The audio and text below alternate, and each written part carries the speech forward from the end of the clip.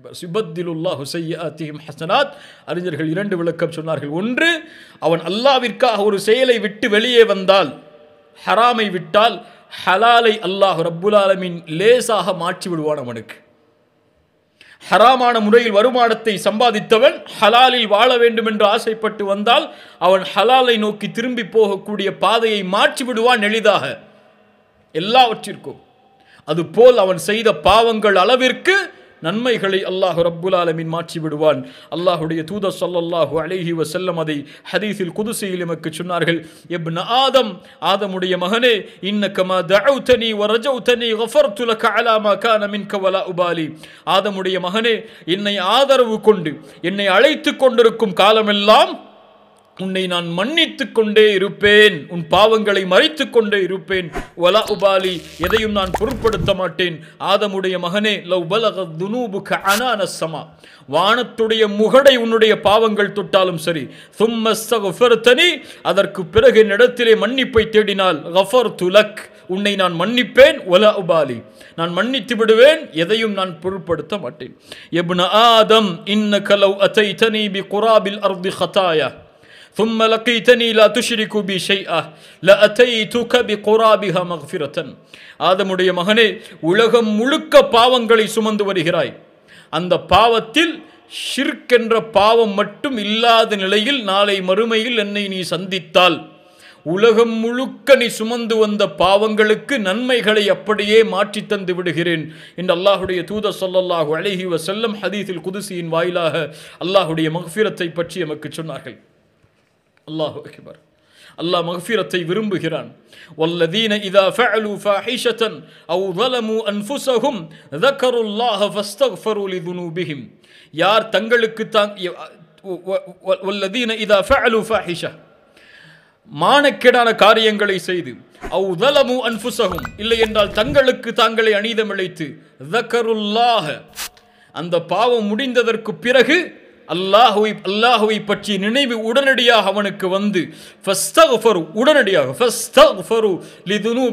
அந்த பாவங்களுக்காக உடனடியாக இஸ்தகஃபாரை தேடினால் அஸ்தகுஃபிருல்லாஹ் என்று செய் என்று தேடிவிட்டால் என்ன ஆகும் யஃபிரு இல்லல்லாஹ். அல்லாஹுவை தவிர அந்த பாவத்தை மன்னிப்பவர் யார்? வலம் யுசிர்ரு அலாமா ஃபஅலு வஹும் யஅலமூன். இப்படி அல்லாஹ்வை நோக்கி வந்தவன் மறுபடியும் அறிந்து அந்த அதே பாவத்தை தொடர்ச்சியாக செய்ய மாட்டான். அவனுக்கு அல்லாஹ் ரப்புல் ஆலமீன் கொடுக்கக்கூடிய கூலி உலா இக்க ஜசா உஹும் மக்ஃபிரத்தும் மிர் ரப்பிஹிம். அல்லாஹுடைய மகஃபிரத்தை உடையவர்களாக அல்லாஹ் அவர்களை ஆக்குவான். அல்லாஹ் சொல்கிறான் சூரத்துல் அன்ஃபாலுடைய முப்பத்தி மூன்றாவது வசனம் ஒமா கான் அல்லாஹு லியுஅذிபஹும் வஅன்த ஃபீஹிம் ஒமா கான் அல்லாஹு முஅذிபஹும் வஹும் யஸ்தக்ஃபிரூன். உங்களுடைய பிரச்சனைகள் நீங்க வேண்டுமா? உங்களுடைய கவலைகள் நீங்க வேண்டுமா? உங்களுடைய கடன் நீங்க வேண்டுமா?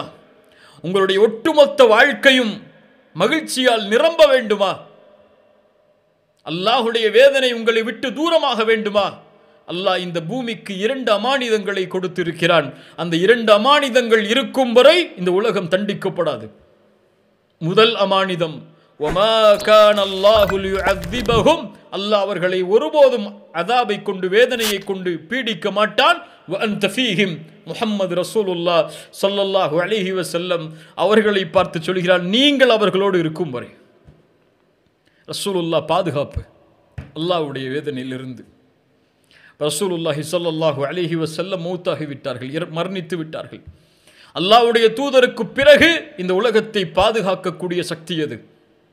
அல்லாஹுடைய வேதனையிலிருந்து. அல்லாஹ் சொல்கிறான் ஒமா கான் அல்லாஹும் அதிபகும் வஹும் யஸ்தக்ஃபிரூன் நீங்கள் இஸ்திக்ஃபாரை செய்து கொண்டிருக்கும் காலமெல்லாம் அல்லாஹ் ரப்புல் ஆலமின் உங்களை தண்டிக்க மாட்டான். அல்லாஹு அக்பர். ரசூலுல்லாஹி ஸல்லல்லாஹு அலிஹி வசல்லம் அவர்கள் சொன்னார்கள் அல்லாஹ் ரப்புல் கூறுவதாக ஒரு அடியான் பாவம் செய்கிறான். அல்லாஹ் மக்ஃபிர்லி தம்பி யா அல்லாஹ் என் பாவத்தை மன்னித்து விடு என்று கேட்கிறாள்.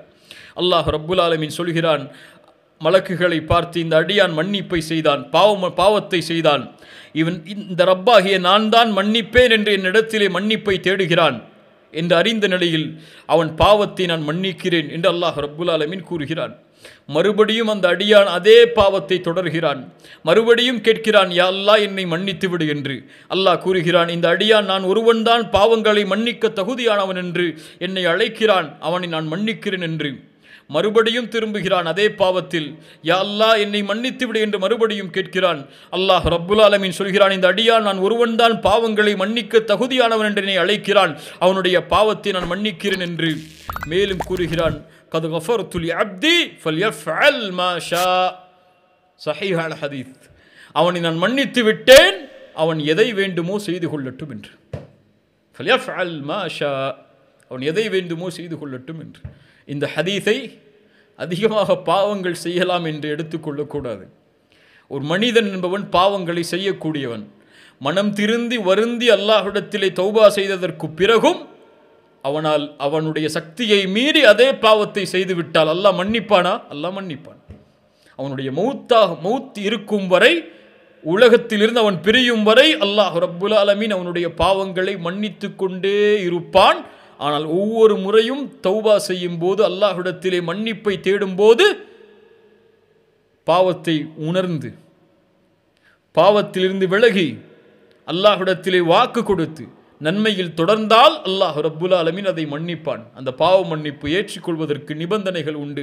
ஃபல்யஃப்அல் மாஷா அவன் எதை வேண்டுமானாலும் செய்து கொள்ளட்டும் அல்லாஹ் மன்னித்து மன்னித்து விடுகிறான் என்று சொன்னதன் அர்த்தம் அந்த அடியான் தொடர்ச்சியாக பாவம் செய்தாலும் அல்லாஹ் ஒருவன்தான் மன்னிக்க தகுதியானவன் என்று அவன் அறிந்த நிலையில் அல்லாஹுவை அழைத்து கொண்டிருக்கும் காலமெல்லாம் அல்லாஹ் ரப்புல் அலமின் மன்னித்து கொண்டே இருப்பான் என்பதுதான் அது அதனுடைய அர்த்தம்.